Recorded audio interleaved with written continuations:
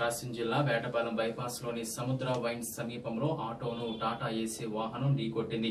ప్రమాదంలో ఒకరు మృతి చెందారు నలుగురికి గాయాలయ్యాయి. గాయపడ్డ క్షతగాత్రులను చీరాల ప్రభుత్వాసుపత్రికి తరలించారు.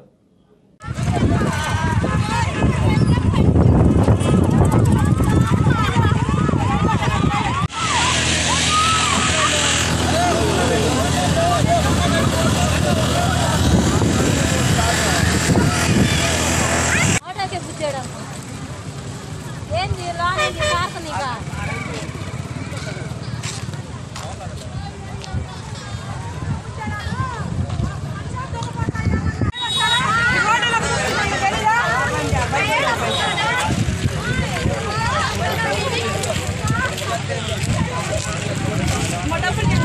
Shri Kamakshi care hospital church road Chirala. Cell nine triple zero eight zero eight one nine eight. Managing director Tadivalasa Devaraju MBA BL